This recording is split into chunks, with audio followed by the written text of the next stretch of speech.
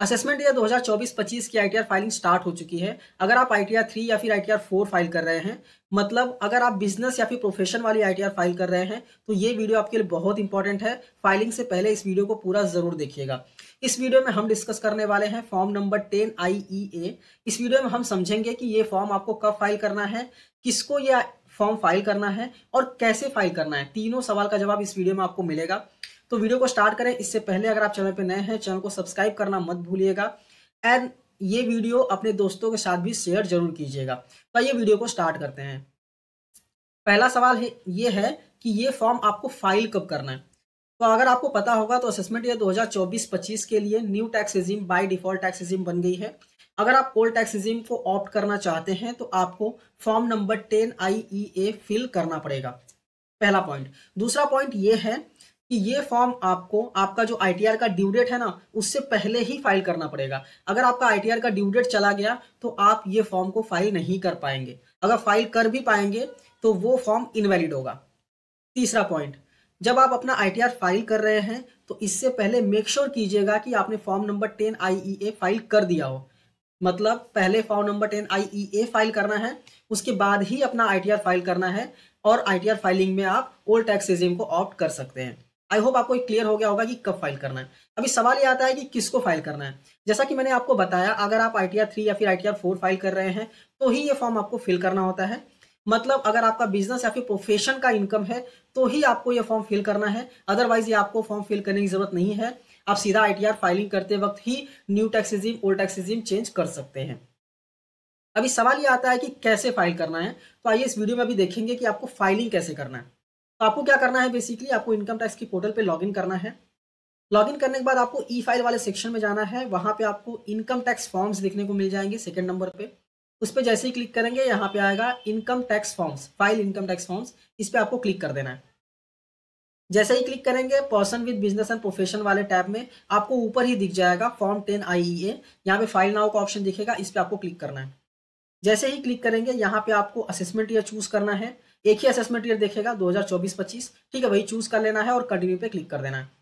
जैसे ही क्लिक करेंगे, यहाँ पे लेट्स गेट स्टार्टेड का ऑप्शन देखने को मिल जाएगा। इस पे आपको क्लिक कर देना है। क्लिक करने के बाद यहाँ पे ए एंड बी करके दो क्वेश्चन पूछे जाते हैं। पहला ये पूछा जाता है, क्या आपका इनकम जो है, वो profit and gain from business and profession है या नहीं? आपको यस या नो में जवाब देना है। दूसरा सवाल यह है कि due date applicable for ITR filing क्या है? आपकी जो ड्यू डेट है, वो क्या है? इकतीस जुलाई है, इकतीस अक्टूबर है या फिर तीस नवंबर है? इकतीस जुलाई अगर मैं आपको बता दूँ तो generally non tax non tax audit वाले जो पर्सन होते हैं, उनके लिए इकतीस जुलाई होता है। इकतीस अक्टूबर बेसिकली टैक्स ऑडिट का ड्यू डेट होता है और थर्टियथ नवंबर जो है, वो अदर वाले ड्यू डेट्स होते हैं। ठीक है? तो यहाँ पे आपको चूज़ करना है कि आपका ड्यू डेट क्या है। जैसा कि मैंने आपको स्टार्टिंग में बताया ड्यू डेट इसलिए पूछा जा रहा है क्योंकि ड्यू डेट अगर चला गया ना, उसके बाद अगर आप ये फॉर्म फिल करते हैं तो इस फॉर्म फिल करने का कोई सेंस नहीं बनता है। ये फॉर्म इनवैलिड होगा। ठीक है? मतलब ड्यू डेट से पहले ही अगर आप फॉर्म फिल करेंगे तो ही आप ओल्ड टैक्स रिजीम को ऑप्ट कर पाएँगे। अगर आप नॉन ऑडिट केस में है तो इकतीस जुलाई लास्ट डेट है आपके लिए, और अगर आप ऑडिट वाले केस में है तो इकतीस अक्टूबर लास्ट डेट है। ठीक है? उसके बाद आप ओल्ड टैक्स रिजीम में जा ही नहीं सकते। ठीक है? आई होप आप, ये आपको क्लियर हो गया होगा। अभी पहले सवाल पे आते हैं। यहाँ पे पूछ रहा है कि आपका बिज़नेस एंड प्रोफेशन से ही प्रॉफिट है या नहीं? अगर आप यस करेंगे तो ही आप आगे बढ़ पाएँगे। अगर आप नो करेंगे ना, यहाँ पे अगर मैं नो कर दूँ, यहाँ पे सीधा सीधा लिख के आता है कि नॉन बिज़नेस केसेस के लिए ना, ये फॉर्म आपको फिल ही नहीं करना है। अगर आपका नॉन बिज़नेस केस है तो आप आईटीआर फ़ाइल करते वक्त ही ओल्ड टैक्स रिजीम को ऑप्ट कर सकते हैं।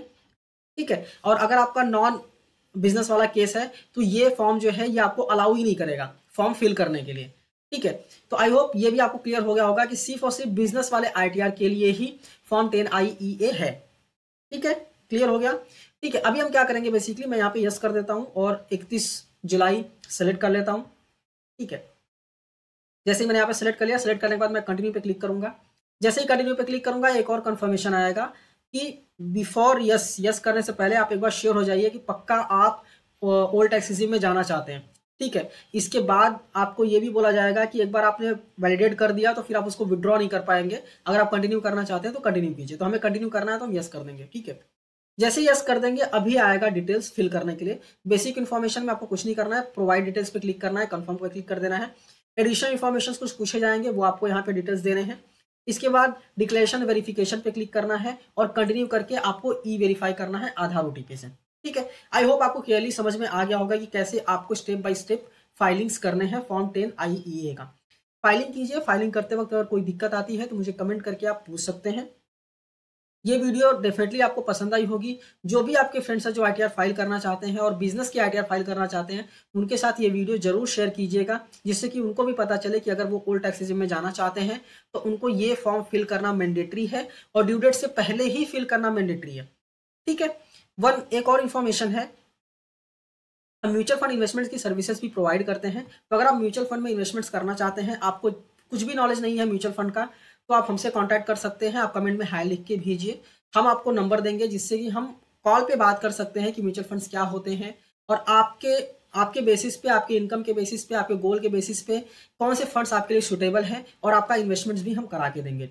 ये वीडियो अच्छी लगी है तो इस वीडियो को लाइक कीजिए, अपने दोस्तों के साथ भी ज़रूर शेयर कीजिए और चैनल पर नए हैं चैनल को सब्सक्राइब करना मत भूलिए। मिलते हैं नेक्स्ट वीडियो में। Thank you for watching and all the best